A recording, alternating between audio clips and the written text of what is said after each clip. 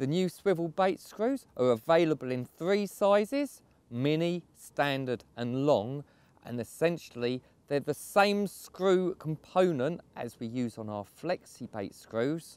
So you've got a 5 millimeter, 7.5 millimeter and 11 millimeter screw portion, but mounted on one of our size 20 covert hook swivels.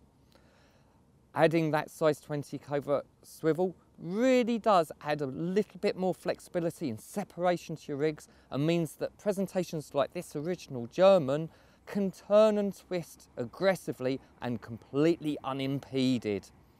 They're perfect with balance baits and with wafters and plastic baits. Just screw them in and have a good solid attachment where you don't have to worry about the bait being plucked off the first time a coot comes along and has a nibble at your hook bait.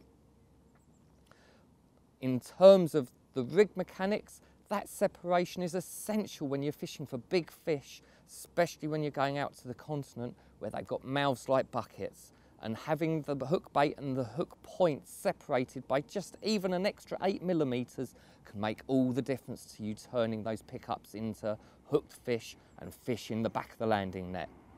They're available in the shops now. Go and have a look for yourselves. You might find them really useful as an addition to your armoury next time you go out angling.